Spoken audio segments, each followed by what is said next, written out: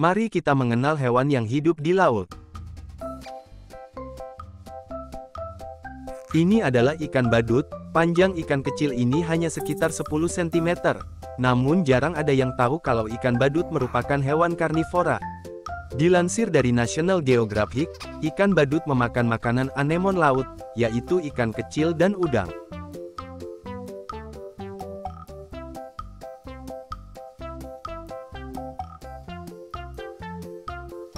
Ini adalah ikan kepe-kepe berkerudung, ikan ini ditemukan di terumbu karang arah laut dan laguna. Mereka biasanya berenang berpasangan dan bersifat teritorial.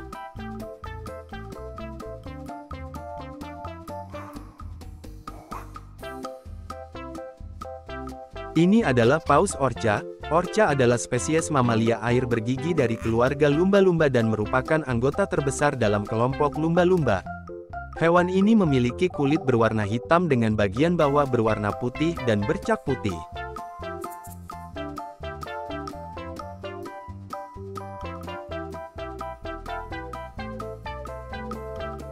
Ini adalah giant shark, hiu raksasa atau megalodon yang berarti gigi besar, adalah spesies hiu yang sudah punah. Hiu ini diperkirakan hidup sekitar 23 hingga 2,6 juta tahun yang lalu,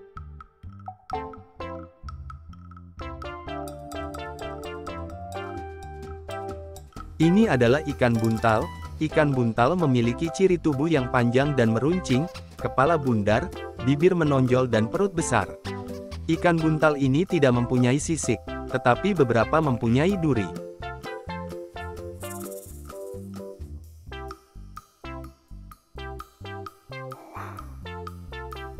Ini adalah bintang laut, bentuk tubuhnya seperti bintang, hidup di habitat pesisir pantai. Memiliki lima lengan berduri pendek dan tumpul pada permukaan tubuhnya. Alat geraknya berupa kaki ambulakral.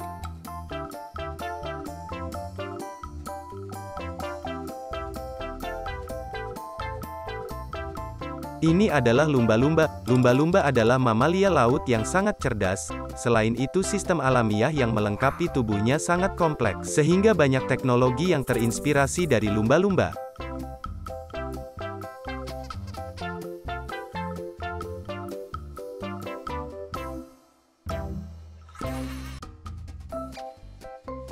Ini adalah koran angelfish, yaitu spesies ikan bersirip pari, sering ditemukan di Samudra Pasifik Indo-Barat. Kadang-kadang masuk ke perdagangan akuarium.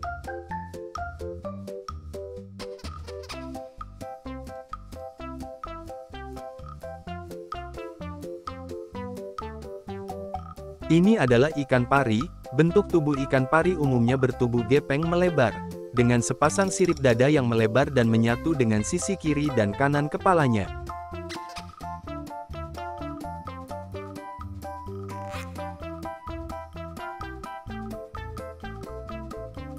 Ini adalah kura-kura. Kura-kura adalah hewan bersisik berkaki empat yang termasuk golongan reptil. Bangsa hewan yang disebut testudins ini khas dan mudah dikenali dengan adanya rumah atau batok yang keras dan kaku.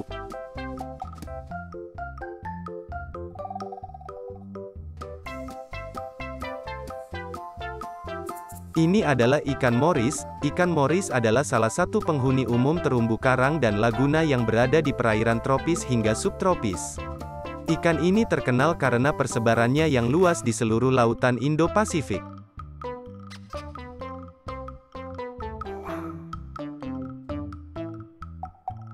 Ini adalah kepiting.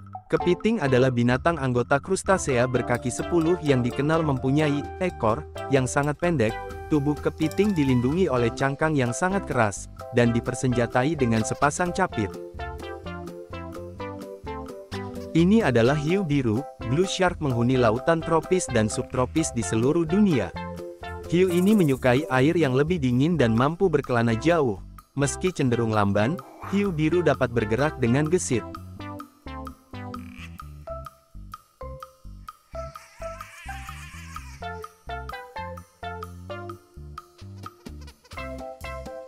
Ini adalah gurita. Gurita bertubuh lunak, tidak punya cangkang luar, memiliki delapan lengan, memiliki mantel, dapat menyemburkan tinta dan habitat di air laut. Gurita merupakan kelompok hewan bertubuh lunak. Gurita termasuk ke dalam filum moluska.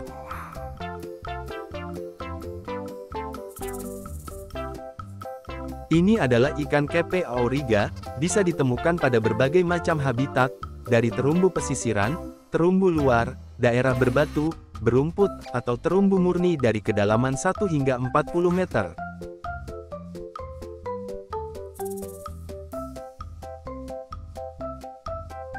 Ini adalah walrus, tubuh walrus memiliki panjang maksimal 3,7 meter dengan berat mencapai 1.700 kg.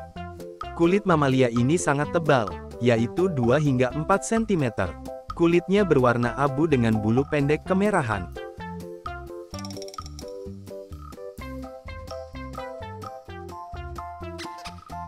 Ini adalah ikan blue tongues. Ikan ini memiliki warna secara umum biru mengkilap atau terang, bagian tubuh depan berwarna hitam, daerah sekitar insang berwarna putih, warna sirip beragam dan berwarna cerah, ukuran maksimum mencapai 20 cm.